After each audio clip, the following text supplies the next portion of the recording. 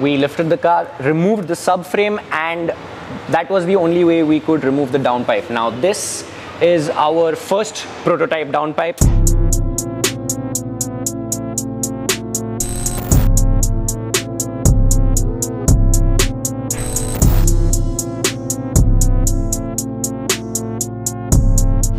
Yo, yo, welcome to episode 2 of Project Taigun. As you've seen in episode 1, we have already taken care of the inlet pipe and the air channel. Now it's time for the downpipe and a remap. So let's get cracking.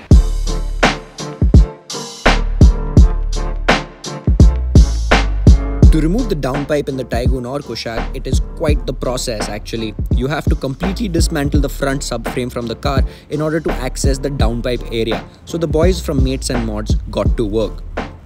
So while we were removing the downpipe, the wheels of the Taigun which we had removed in the previous video were now going in for a paint. So were the calipers.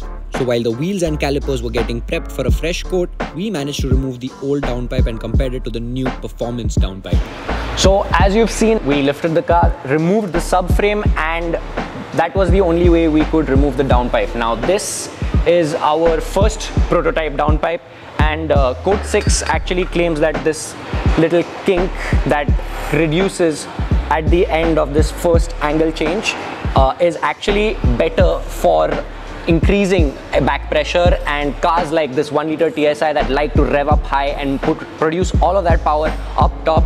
This helps in bringing that power and that usability a little bit lower down the rev range which gives you more power for longer. And that is something that Code 6 is able to do with their own tunes and uh, that's what Pawan has told us the owner of uh, Mates and Mods. Now this is a two-piece downpipe and we have not uh, usually covered two-piece downpipes. They're meant to be easier to fit in and they're also uh, a bit like just much more easier to like work around with and it's really smart because you've got two inlet uh, two inlets for your sensors right here which make it easier to just put your sensors in one part itself. And then you just start figuring this part out. So it's all up to personal opinion. The owner still says that he is in two minds of either one piece or two piece but that's what prototyping is for.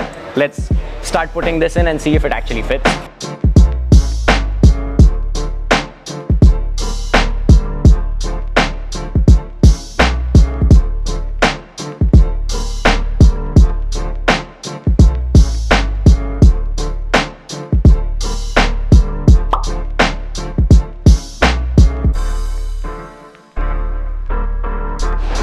So this is the elephant in the room. This is the culprit. This is what has uh, keep kept everyone's knickers in a toss. It's the ECU of uh, this MQB A0 uh, platform. And uh, now you've seen us tune a lot of cars. We just sit in the driver's seat, uh, connect the OBD port with our reader and we just change our variables and get the flash done. But now we're going to be bench tuning it. So that means the ECU needs to physically come out of the car and we're going to plug it in into our computer and then we're going to be able to uh, change the ECM figure. So that's what we're going to do now. Let's take it uh, onto the laptop and just get it tuned.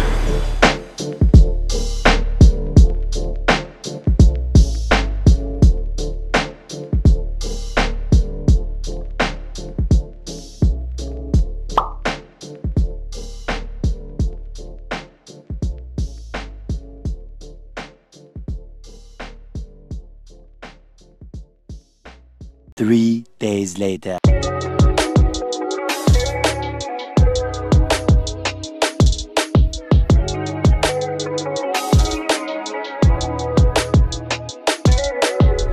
So it's been a couple of days and Pawan has been able to tune the car.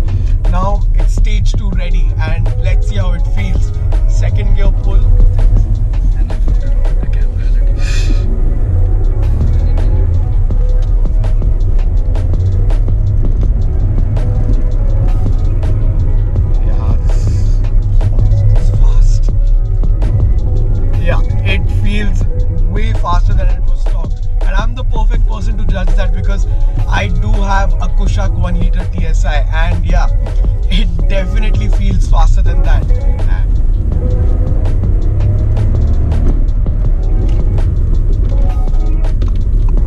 And uh, massive difference in that, and also the gearbox. The torque converter isn't a very good gearbox in that sense, and this manual definitely helps in making that experience and making that power much more fun and accessible in that sense. Now, tomorrow we're going to be taking the car to the dyno. So the next episode is going to be the dyno run, so that we can finally find out what it is at the end like what is the real uh, bhp output of the Taigun 1 liter tsi a very interesting episode coming up so do stay tuned for that